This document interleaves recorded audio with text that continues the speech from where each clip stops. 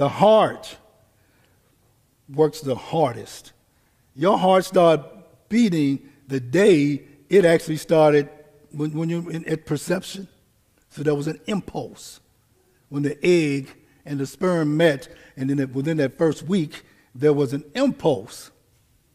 There was a pulse. There was life.